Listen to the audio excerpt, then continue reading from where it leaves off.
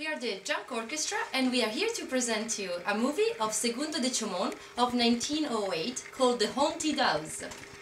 The music has been composed by ourselves and also and so are our instruments, all homemade. We start from a monochord that is also, has got also a rattling sound and then a ukulele made from a tin of olive oil and a saxophone made from a watering can and um, a musical saw, all homemade, in our shed.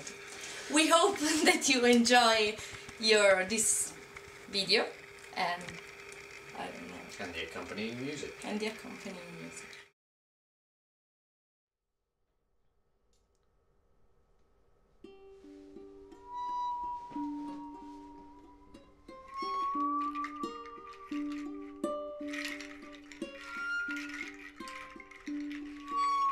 Okay.